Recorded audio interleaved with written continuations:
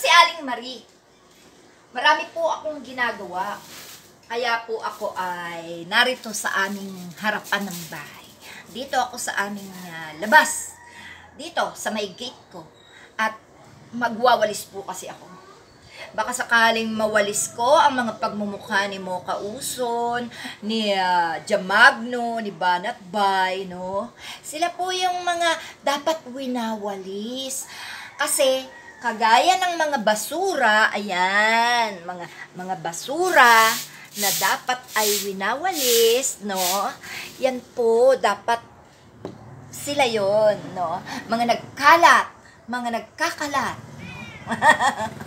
dapat sila yan.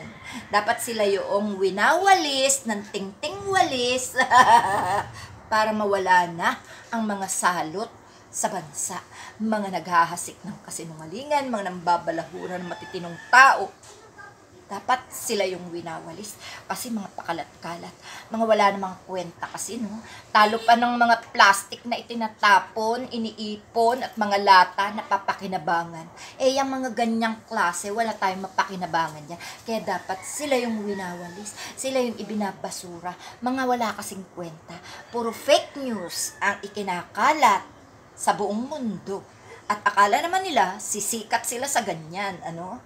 Ha? ang husay nila mambalahura ng matitino kasi wala na sila sa katinuan at hindi na sila maituturing na matino kaya naghahanap na sila ng damay. Okay, kaya nga sila alaga ni Pidutse kasi mga wala na silang kwenta. Ang buhay nila wala na, mga patapon na.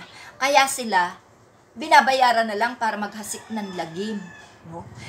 Kung ano man ang mangyari sa kanila, wala na. Goodbye na lang.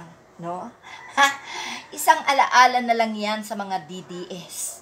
Ang nagkaroon sila ng mga fake troll na bayaran. No?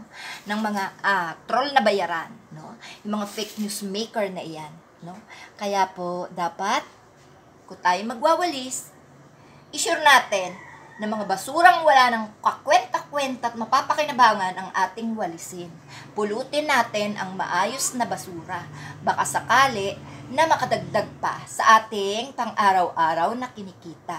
Pero yung mga ganyang basura, katulad nila, ng mga bayarang troll, na mga pagkalat ng mga kasinungalingan, yan, dapat shoot yan sa basurahan pag inyong winalis. Dakutin nyo ng daspan at itapon nyo sa basurahan. Kasi yan, mga wala ng kakwenta-kwenta yan. Diba mga kapatid? I love you. Goodbye mga troll na bayaran. Wawalisin ko na kayo. Okay?